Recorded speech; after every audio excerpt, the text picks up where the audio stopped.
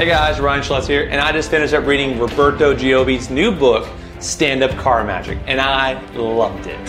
He takes you through the entire process how to get on stage, what tricks to do, and how to get off. This is a crash course in doing card magic on stage. It's a book I've been waiting for, and it's a book you've been waiting for, even if you didn't know it. a move encyclopedia of taking the moves you probably already know, top changes, double lifts, and making so they play more here. Um, that's really, really, really important to be able to actually make sure they play out. Really great techniques to do that, and then also moves that are very, very unique just for that situation. It's fantastic. Um, he shows you how to translate card magic to the stage, which is not often easy.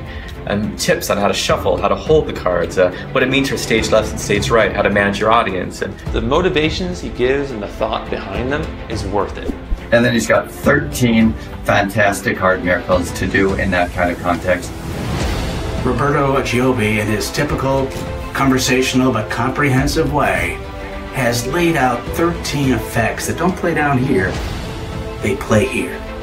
I'm immediately putting in to my stand-up work. It is so good.